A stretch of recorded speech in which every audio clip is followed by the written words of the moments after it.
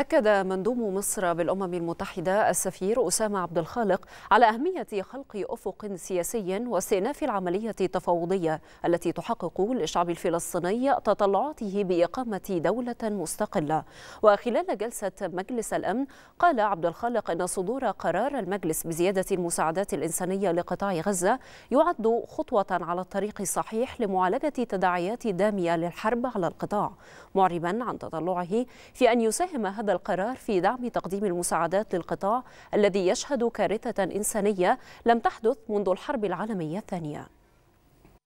وصدور هذا القرار اليوم خطوة على الطريق الصحيح لمعالجة التداعيات الإنسانية الدامية للحرب على غزة وضمان استمرارية ودوام نفاذ المساعدات للقطاع دون عوائق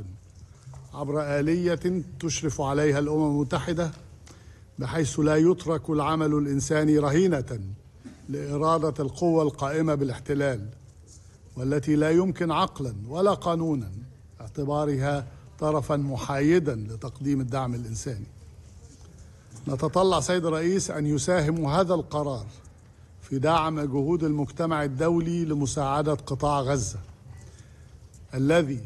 ورغم الجهود المصرية المضنية لتقديم كل المساعدات القصوى الممكنة للأشقاء الفلسطينيين. ورغم اقتسامنا الكساء والغذاء والدواء معهم ما زال يشهد كارثة إنسانية مروعة لا مثيل لها منذ الحرب العالمية الثانية.